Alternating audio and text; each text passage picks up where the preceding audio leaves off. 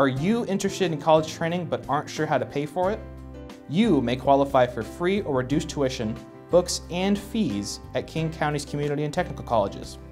Workforce education programs can help you if you are unemployed or underemployed, low income, receiving basic food assistance,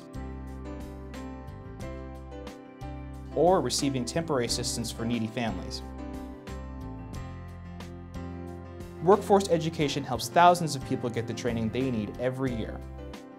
Programs include adult basic education, English as a second language, certificates, Associate of Applied Science degrees, Bachelor of Applied Science degrees.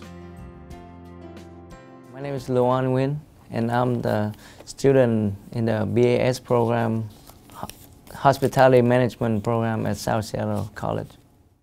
Workforce education has helped me from the from day one. I'm currently uh, enrolled in the worker retraining program, and they had helped funded me toward uh, the BAS program. You can apply it. You can come to the college and go to workforce uh, education office, or you can go online and apply at the Start Next Quarter uh, website to find out if you're eligible.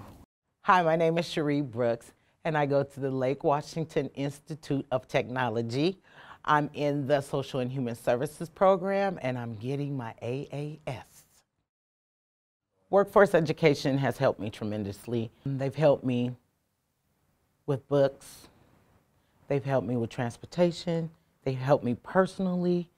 Um, like I said, I have a great support team in them because you do need a support system no matter what you're taking in, in school. And the workforce education is a great one because there's so many different parts to it that can help everybody. My name is James Jackson and I am in the PFT program, which is a personal fitness trainer program here at Highline College. Being a full-time student and a part-time worker, I really could not afford the uh, materials such as book cost and supplies. And so workforce uh, covered that for me and, and that really helped me to continue uh, my path through the summer. The workforce uh, uh, education counselor and the team over there, um, they really helped me by uh, encouraging me to, for one thing, get into student leadership and and being there like for moral support for me. I could go over there anytime I needed to talk to them, uh, whether it was good or bad, you know, or just a visit to say hi. Uh, they really uh, stood behind me.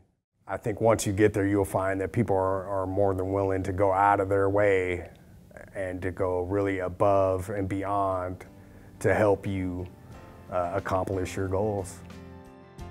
Get started today. Explore careers and view job trends at www.careerbridge.wa.gov. Pre-qualify for funding and sign up for an orientation at www.startnextquarter.org. Call or visit the Workforce Education Office at one of these King County and Community Technical Colleges.